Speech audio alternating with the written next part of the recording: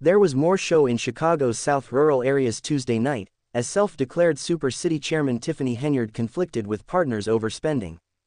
Welcome viewers to my channel, please subscribe, like my video and turn on notifications so you don't miss our next update.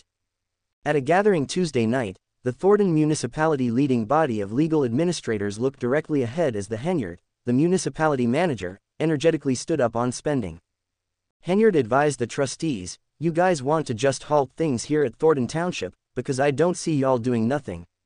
However, yet, you all have begun expressing no to all that myself and our group is thinking of and I see no thoughts from any of you.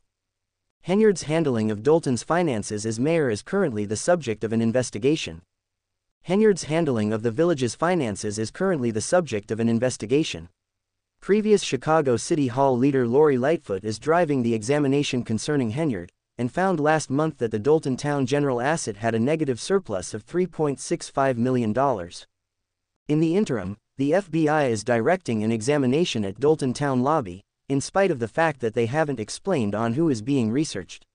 If the FBI inquires about the village's finances, Henyard will be required to cooperate. Yet again pressures erupted at a Thornton municipality executive gathering, as legal administrators casted a ballot to drop a few forthcoming municipality occasions, including Gospel Fest, House Fest, and Bingo, notwithstanding manager Tiffany Henyard's help.